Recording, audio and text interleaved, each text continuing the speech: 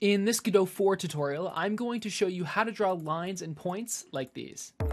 This entire demo is on GitHub and the link is in the description, but this video will be focused on specifically the line and point drawing. Here is my point drawing function. Now this is in a script called draw3d, and this script is an auto load. So if we go to project, project settings, auto load, um, you see it's right here. Putting it in auto load allows us to call this function from anywhere in the project.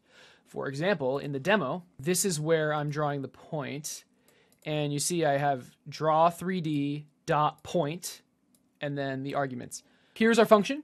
Um, we are taking one mandatory argument, which is a vector 3 for position, and then two optional, uh, radius and color. We start off by creating a new mesh instance 3D, a new sphere mesh, and a new ORM material. We add our sphere mesh to the mesh of the mesh instance. We make sure the mesh instance isn't casting shadows. You don't need to do this, but I prefer the debug shapes not to cast shadows. And we set the position of the mesh instance to the position we passed in. So if we didn't do anything else, this is what it would look like. And it's working, right? We're spawning spheres in, but this isn't ideal.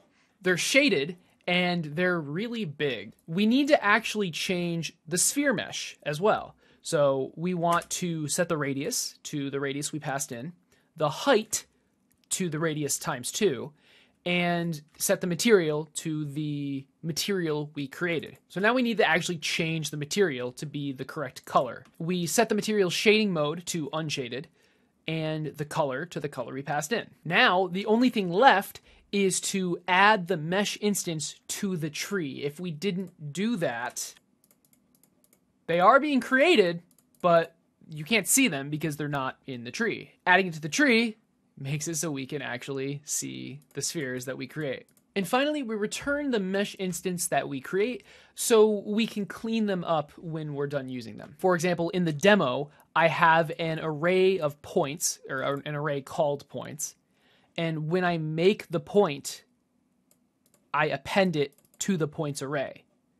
So that when clear points and lines is called, I can go through every point in the points array and free it and then clear the points array. I can spawn them in and then I can right click to get rid of them. What about lines? There unfortunately is not like a line mesh. There's sphere mesh, cube, uh, prism, etc., but there's no line mesh. But what we do have is an immediate mesh. And this is a mesh specifically for creating meshes programmatically. And that's exactly what we want to do. Our line function takes in two vectors and an optional color. The two vectors are the start position of the line and the end position of the line. These two functions are basically the same. The only difference is what mesh we use. For the line function, we're using an immediate mesh. An immediate mesh is used for creating geometry programmatically. It's, it's basically an array of points that are connected in, in a specific way. In our case, since we're using the primitive type primitive lines, every two vertices that are added to the immediate mesh are connected as a line. So how do we actually create this immediate mesh? First, we call surface begin on immediate mesh, and we input our primitive type and our material. Next, we call surface add vertex. This adds the vertices to the immediate mesh. We call it twice, one for each position, the start position and the end position. And then finally, we call surface end. This kind of like finishes the whole process up. And that's how you make a custom immediate mesh. There are other types, such as like uh, points, triangles. Um, the reason we didn't use points for our point is because it's just like one pixel big, so it's really hard to see. Everything else in this function is exactly the same as the point one. And this is what it looks like.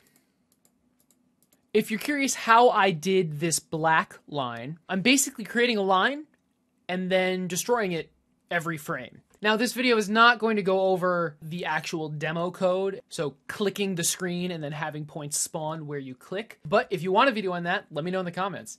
Just keep in mind, you can download this full demo from GitHub using the link in the description. Like and comment for the algorithm and subscribe if you want to see more. I really hope you guys enjoyed this video. This is my first Godot tutorial, so uh, I, any feedback is appreciated, uh, especially if you want to see tutorials on other stuff yeah, let me know. Have a good day. I'll see you later.